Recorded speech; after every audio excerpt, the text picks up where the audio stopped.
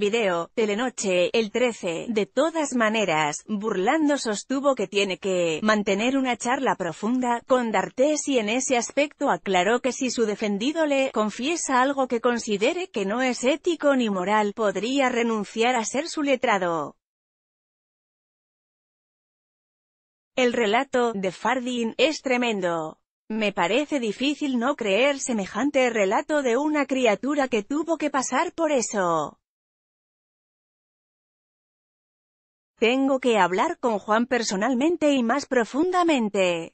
Ahí veré lo que me dice, pero en lo poco que hablamos él me dice que eso no ocurrió, lo niega categóricamente, sostuvo el letrado en declaraciones a Telenoche.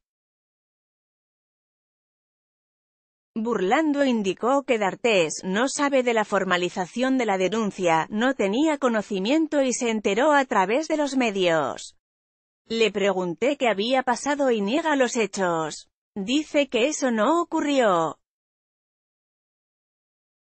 Ahora quiero ver qué pasó y qué conducta asumir cuando Juan se explaye, añadió el letrado. Además, destacó la denuncia que encabezó el colectivo de actrices argentinas con el caso de Fardin al señalar que «las mujeres se lo merecían».